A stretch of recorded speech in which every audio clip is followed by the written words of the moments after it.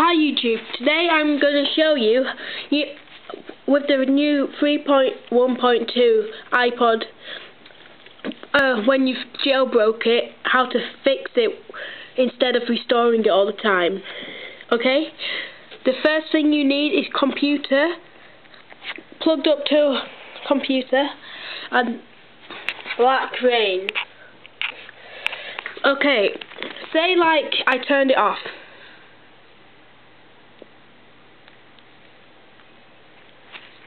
Turn the power off.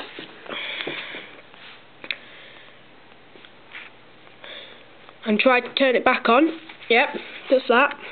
Oh no, I have to do iTunes. When I go to iTunes, then I have to restore. But, to do that, one thing you need to do. Do not open iTunes to solve this and keep all your apps you've got or your backgrounds instead of restoring it. Go. You have to have blackra1n on your computer then. Click it. I've already downloaded it and saved it on here. Run it. Click Make it rain.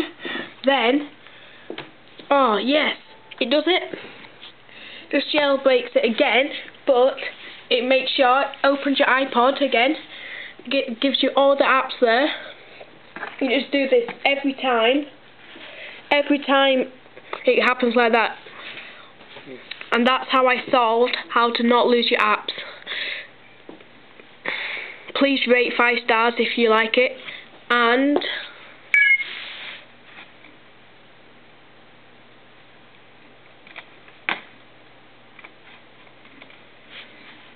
Wait.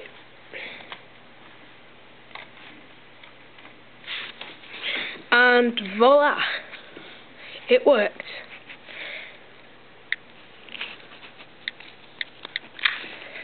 It's open. And look, all my apps didn't need to be restored. Look. The Cydia.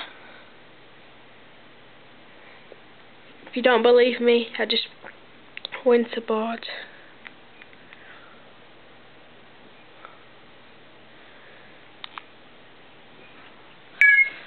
Yes, come on, come on.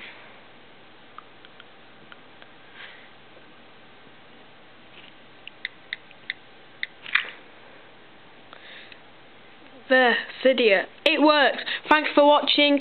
Please comment and give advice, rate 5 stars and subscribe. Thanks for watching. Bye.